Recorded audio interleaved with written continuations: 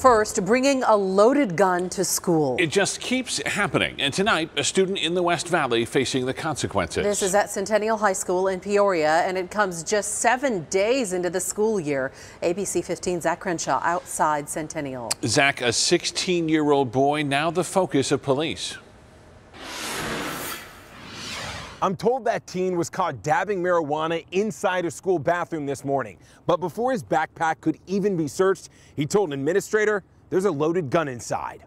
The signs are clear outside Centennial High School. No drugs, definitely no guns. I believe it was a Smith & Wesson 9mm handgun. Monday, a student ignored both. Who was caught um, smoking marijuana wax in one of the restrooms. That led to the other discovery. He told us that he received it from somebody in the morning, put it in the backpack, and then went to school. The 16-year-old didn't make any threats on campus or social media. The school never on lockdown. Because we immediately uh, were able to secure that weapon. But the presence of the gun was enough to unnerve parents. It sucks that we have to worry about this every day. I was worried dropping them off the first day of school. It just makes us all a little nervous, for sure. Peoria schools, police, and parents now pondering how to prevent another pistol on campus. The only thing that came to my mind was metal detectors. I feel like we shouldn't need one, but I feel like we do. I don't want to see you know, metal detectors or anything at my school. Some things like that can help, but at the same time, I know the school district has done a lot of things to try to ramp up security around their campuses as far as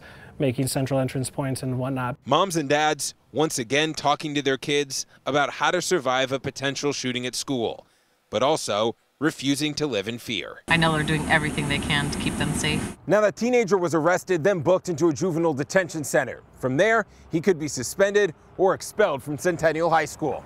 In Peoria, Zach Crenshaw, ABC 15, Arizona. Zach,